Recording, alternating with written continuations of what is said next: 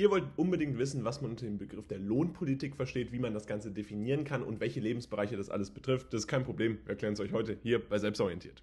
Und zuvor haben wir hier eine Kapitelübersicht vorbereitet, mit denen ihr alle lohnpolitischen Konzeptionen und die verschiedenen Begriffe, die wir euch heute erklären, einmal als Timestamps übersehen könnt. Und ganz bevor das Video jetzt losgeht, wollen wir euch noch unseren Kurs vorstellen. Der ist nämlich jetzt verfügbar mit allen lohnpolitischen Konzeptionen, die wir euch heute hier natürlich auch erklären wollen. Alle Konzepte, die entsprechend wichtig sind für euren Unterricht mit Texten, Aufgabenzusammenfassungen und auch Lernkarten für das schnelle Lernen. Und außerdem bekommt ihr jetzt auch noch 20% mit dem Code WELCOME.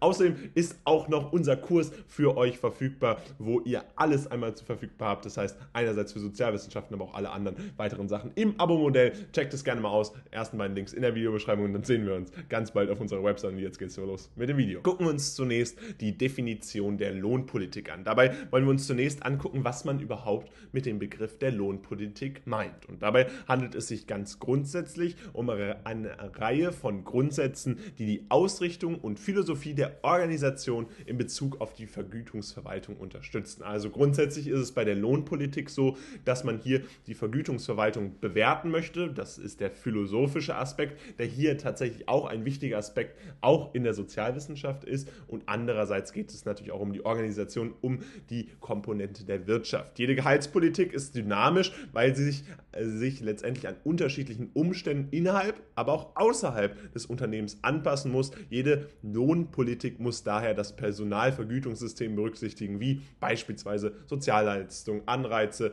entsprechende Leistungen der Mitarbeiter und die Stabilität im Unternehmen sowie verschiedene Wachstumschancen. Also, wenn wir von einer Lohnpolitik sprechen, sprechen wir letztendlich von einer Reihe von Richtlinien, deren Hauptziel es am Ende ist, die Gehälter und die jedem Mitglied der Organisation zugewiesenen Beträge gerecht zu verteilen. Also mit der Lohnpolitik ist das finale Ziel, eine gerechte Verteilung des Lohns zu erreichen, die Gerechtigkeit innerhalb einer Gesellschaft aufrechtzuerhalten. Und dabei ist ganz wichtig, und das ist ein Aspekt der Gleichheit, der hier in der Sozialwissenschaft angesprochen wird, dass man eben alle äh, Teilnehmer an diesem sozialen System berücksichtigen möchte und dass eben auch alle Teilnehmer dieses Systems gleichermaßen berücksichtigt werden sollen, eben entsprechend ihrer Aufkommen Einkommen entsprechend ihrer Arbeit, die sie entsprechend hier einbringen. Darüber hinaus ist es so, dass ein Lohnpolitik sollte die gesamte Palette der Zahlungen berücksichtigen, die Mitarbeiter für ihre Merkmale erhalten können, die Mitarbeiter für ihre Arbeit, die sie leisten, letztendlich auch erhalten können. Nicht alle von ihnen sind dabei monetär. Wir haben hier jetzt einmal die äh, vier wesentlichen äh, Elemente äh, dargestellt, die entsprechend zur Lohnpolitik beitragen. Daher passt die Definition der Lohnpolitik letztendlich auch zur Verteilung einer ausgewogenen Vergütung auf das gesamte Team, eine gesamte Organisation. Es ist ein Beförderungssystem, das jeden Mitarbeiter ermutigen soll, seine Aufgaben besser zu erfüllen. Und eine wichtige Komponente ist davon natürlich das Festgehalt. Also in jeder Lohnpolitik haben wir ein Festgehalt und das bezieht sich letztendlich auf das Hauptelement der Lohnpolitik, da alle Mitarbeiter mindestens einen bestimmten Betrag an Festgehalt erhalten sollen. Der Betrag, den sie erhalten, hängt dabei von ihrer Position, Erfahrung, Verantwortung und auch dem marktüblichen Lohn ab. Das heißt, in der Lohnpolitik werden natürlich ganz verschiedene Parameter berücksichtigt, unter anderem eben auch die Erfahrung oder die Position, die man ausübt, aber natürlich auch den Aufwand, den man aufbringt, um diese jeweilige Aufgabe auszuführen. Darüber hinaus gibt es häufig variable Vergütungen, die dann entsprechend zusätzliche Vergütungen sind, die dann auch nochmal von den Leistungen des jeweiligen Mitarbeiters abhängen. Abseits davon gibt es aber auch auch Sozialleistungen. Mit Sozialleistungen ist gemeint, dass verschiedene Leistungen wie beispielsweise Pensionspläne, private Krankenversicherungen, Krankenversicherung generell oder auch die Weiterbildung äh, entsprechend besonders gefördert werden. Zuwendungen sind dabei geldwerte Vorteile, Produkte oder Dienstleistungen, die das Unternehmen anbietet, um die Lebensqualität der Mitarbeiter zu verbessern. Äh, letztendlich ist das hier auch eine emotionale Bezahlung, wenn man es so nennen möchte. Das heißt, hier sehen wir auch nochmal die soziale Dimension, die in der Lohnpolitik auch eine ganz wichtige Rolle äh, spielt. Und eine ganz wichtige Rolle spielen natürlich letztendlich auch Kündigungen, die auch äh, ein Aspekt äh, dieser Lohnpolitik sind. Denn beschließt ein Unternehmen den Vertrag eines Mitarbeiters vorzeitig zu kündigen, ist es zur Zahlung ähm, entsprechend verpflichtet. Das Gesetz bestimmt Zeitpunkt und Höhe der Zahlung im Einzelfall. Das heißt, es kann im Zweifelsfall dann auch vor Gericht geklärt werden. Das Unternehmen kann jedoch beschließen, den Arbeitnehmer über die offiziell, äh, offizielle Zahlung Mindestzahl hinaus zu entschädigen, wenn er dies wünscht, beziehungsweise wenn sich das Unternehmen das wünscht, wenn eine einvernehmliche Klärung gewünscht ist. Dies sollte dann sich natürlich auch in der Gehaltspolitik widerspiegeln und ist dementsprechend auch ein ganz wichtiger Teil der Lohnpolitik, die damit eigentlich alles umfasst, was rund um den Lohn organisiert werden muss und damit auch ein ganz wichtiger Grundsatz überhaupt erstmal ist, um lohnpolitische Konzepte zu verstehen. Und das fassen wir euch einmal ganz kurz zusammen. Letztendlich handelt es sich bei der Lohnpolitik um eine Reihe von Grundsätzen, die die Ausrichtung und Philosophie der Organisation in Bezug auf die Vergütungsverwaltung unterstützt. Hm, dabei ist es letztendlich so, dass hier insbesondere es um die Organisation verschiedener Gehälter geht, um die gerechte Verteilung von entsprechend dieser Gehälter. Und dabei gibt es ganz verschiedene Aspekte, die damit reinzählen, unter anderem das Festgehalt, die variable Vergütung, die soziale Dimension mit Sozialleistungen und letztendlich auch, wie man entsprechend mit Kündigungen umgeht. Nun ist der Hauptteil des Videos vorbei. Wichtig ist aber, dass wir euch nochmal ein weiteres Video hinzugefügt haben, was für euch relevant sein könnte. Also bleibt jetzt dran und guckt es euch an.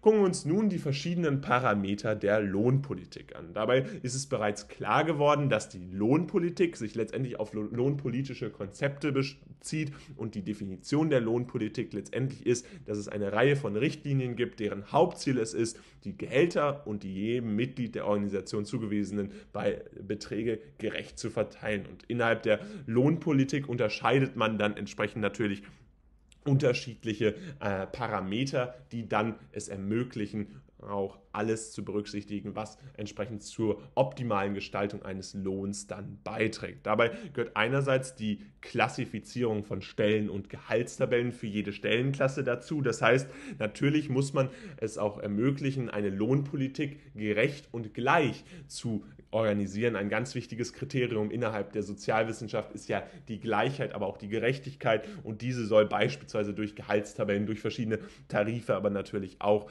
äh, entsprechend hier abgesichert werden. Darüber hinaus gibt es das Einstiegsgehalt für qualifizierte Mitarbeiter, was dann unter der Grenze der Gehaltstabelle entsprechend auch übereinstimmen muss. Das heißt, wenn man sich diese verschiedenen Gehälter anguckt, die am im Endstadium dann bezahlt werden, dann muss es natürlich so sein, dass alle Mitarbeiter entsprechend ihrer Qualifikation dann auch gleich behandelt werden, gerecht behandelt werden. Und dafür ist es entsprechend auch wichtig, ein einheitliches Einstiegsgehalt zu zahlen. Darüber hinaus ist es aber natürlich auch wichtig, dass tarifvertraglich oder per Verordnung festgelegte Rückstellungen für Gehaltsanpassungen auch für Beförderungen, Beförderungen durch die Ränge, Verdienste des Arbeitsnehmers gewährt werden können und müssen. Das heißt, wenn wir uns diese vier hauptsächlichen Dimensionen der Lohnpolitik nochmal in den Hinterkopf rufen mit Festgehalt, Variablenvergütung, Sozialleistung und letztendlich dem Umgang mit der Kündigung, dann müssen wir hier sehen, dass die Lohnpolitik einige Parameter berücksichtigt, die eben eine große große Auswirkung letztendlich auch auf die langfristige Gestaltung des Verhältnisses zwischen dem Arbeitnehmer und dem Arbeitgeber letztendlich hier haben. Und dabei ist insbesondere die Gerechtigkeit und Gleichheit sehr wichtig. Also das Kriterium der Legitimität kann hier besonders angewendet werden. Und das fassen wir euch nochmal ganz kurz zusammen. Grundsätzlich seht ihr, dass innerhalb der Lohnpolitik verschiedene Dinge be berücksichtigt werden unter anderem die Klassifizierung von Stellen, die Definition des Einstiegsgehalts, aber eben auch tarifvertragliche Anordnung und eben alle weiteren Dimensionen wie das Festgehalt, die variable Vergütung, Sozialleistung und natürlich auch der Umgang mit Kündigungen, der ein wichtiger Parameter innerhalb der Lohnpolitik ist. Gucken wir uns nun die Frage an, was versteht man unter dem Mindestlohn? Letztendlich ist der Mindestlohn etwas, was äh, häufig immer mal wieder auch in den Nachrichten sich vorfinden lässt, deswegen ein ganz bestimmtes Thema gesellschaftlich ist, aber eben natürlich auch von großer politischer und wirtschaftlicher Relevanz. Dabei ist es so, dass der Mindestlohn die Mindestvergütung oder auch das Mindestgehalt, der Mindestgeldbetrag ist, den ein Arbeitnehmer gemäß den in seinem Land geltenden Gesetz monatlich erhalten muss, berechnet auf der Grundlage des Verhältnisses zwischen dem Geldbetrag und der Anzahl der Arbeitsstunden. Auch wenn das jetzt erstmal lang und kompliziert klingt, ist es doch relativ einfach, denn letztendlich geht es bei dem Mindestlohn um eine Art der Mindestvergütung, wo es entsprechend dann je nach Gesetz, beispielsweise in Deutschland äh, gibt es dafür ein Gesetz, aber es gibt es natürlich auch in den verschiedenen anderen Ländern, die ein solches System haben. Entsprechend gibt es dann eine Regelung, wo ein Mindestlohn angesetzt werden werden äh, kann und muss und der dann auch entsprechend gezahlt werden muss durch den Arbeitgeber. Und dieser richtet sich dann natürlich auch nochmal auf Grundlage äh, der verschiedenen Arbeitsverhältnisse besonders aus. Theoretisch entspricht ein Mindestlohn dabei auch dem Mindestbetrag, den ein formeller Arbeitnehmer erhalten äh, sollte im Monat um seine grundlegendsten gemeinsamen Ausgaben zu decken und seiner Familie die physischen, sozialen und kulturellen äh, Mindest Voraussetzungen zu bieten, die für ein menschenwürdiges Leben unerlässlich sind. Dabei muss man natürlich klar davon ausgehen, wenn man beispielsweise den Mindestlohn pro Stunde definiert, ist es so, dass dieser Mindestlohn natürlich auf ein typisches Arbeitsvolumen hochgerechnet wird, was dann entsprechend in dem jeweiligen Land gilt. Beispielsweise in Deutschland haben wir ja typischerweise das Konzept einer 40-Stunden-Woche. Äh, es gibt neue Konzepte, die auch beispielsweise eine 35-Stunden-Woche berücksichtigen, aber das sind eben Aspekte, die für den Mindestlohn ganz relevant sind und die eben dann zur Definition dienen. Das heißt, hier geht es insbesondere darum, dass man entsprechend die Kaufkraft berechnet, die notwendig ist, um entsprechend seine minimalen äh, Bedürfnisse dann auch äh, zu gewährleisten und um entsprechend menschenwürdiges Leben darstellen zu können. Das bezieht sich beispielsweise auch auf, den, auf die Teilnahme an kulturellen Ereignissen, aber auch sozialen Ereignissen, beispielsweise wenn es um den Museumseintritt geht äh, oder entsprechend auch verschiedene soziale Veranstaltungen, die für Kinder häufig ganz wichtig sind. Das sind auch Aspekte, die bei diesem Mindestlohn einbezogen werden. Letzteres kann jedoch in Krisenzeiten nicht immer eingehalten werden oder teilweise gar nicht eingehalten werden, da der Mindestlohn anfällig für Inflation, Abwertung und Kaufkraftverlust der Landeswährung ist. Gerade in aktuellen Zeiten, wo die Inflation weit über die definierten 2% hinausgeht, ist es ja tatsächlich so, dass man eben diese Mindestlohn nicht so schnell anpassen kann, wie er es eigentlich erfordern würde, wenn man entsprechend der Inflation komplett folgen würde.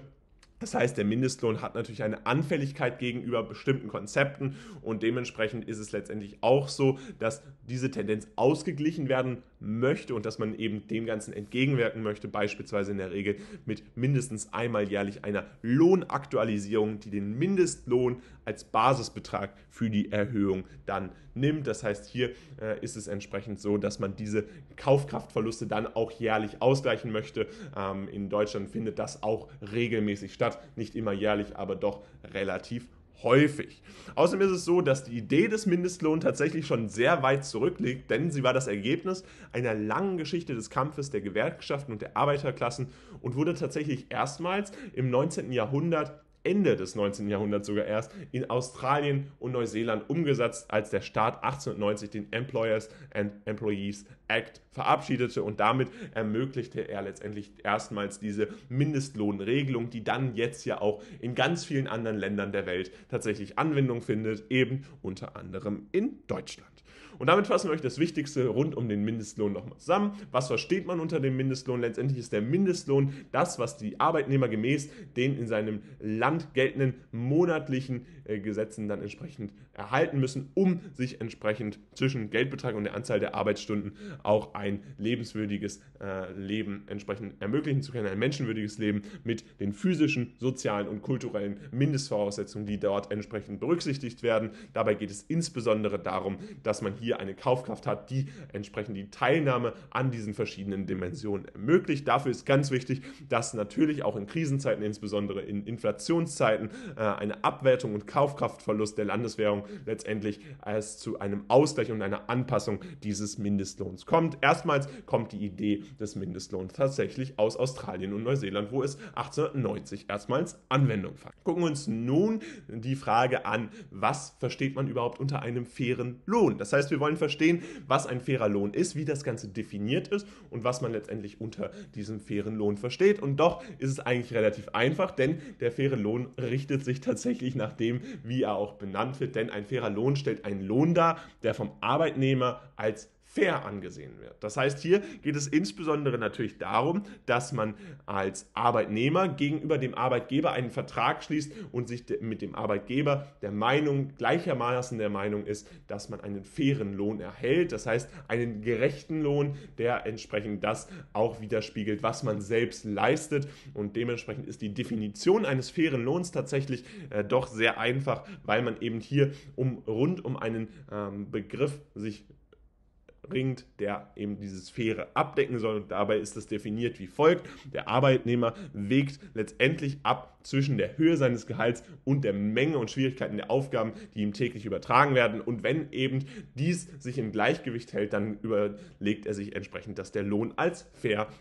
definiert werden kann. Dieses Gehalt, das im Austausch für individuelle Arbeit erhalten wird, wird, der Mitarbeiter, wird den Mitarbeiter dabei dazu ermutigen, mehr oder weniger in seinen täglichen Aufgaben zu investieren, aber auch mehr oder weniger Zeit in der Position zu bleiben, die er entsprechend einnimmt. Das heißt, hier ist es natürlich ganz wichtig, dass entsprechend dieses Gehalt als ähm, Grundlage dient, um sich entsprechend auch in seinem Beruf tatsächlich optimal einbringen zu können. Das ist auch die Idee, die hier entsprechend durch diesen fairen Lohn entsprechend umgesetzt werden äh, soll. Dabei ist es grundsätzlich so, dass man sich das so merken kann, dass der faire Lohn häufig über dem Mindestlohn liegt. Das heißt, wenn die eigene Arbeitskraft eigentlich so viel bringt, dass sie mehr als der Mindestlohn ist, das ist häufig der Fall. Das heißt, hier äh, haben wir nochmal eine Einordnung des fairen Lohns auch von der Höhe um euch einfach nochmal eine Vorstellungskraft gegenüber dieses Begriffes zu geben. Und ganz wichtig ist, dass es verschiedene Initiativen, Institutionen gibt, welche diesen fairen Lohn absichern wollen. Das geht dabei natürlich insbesondere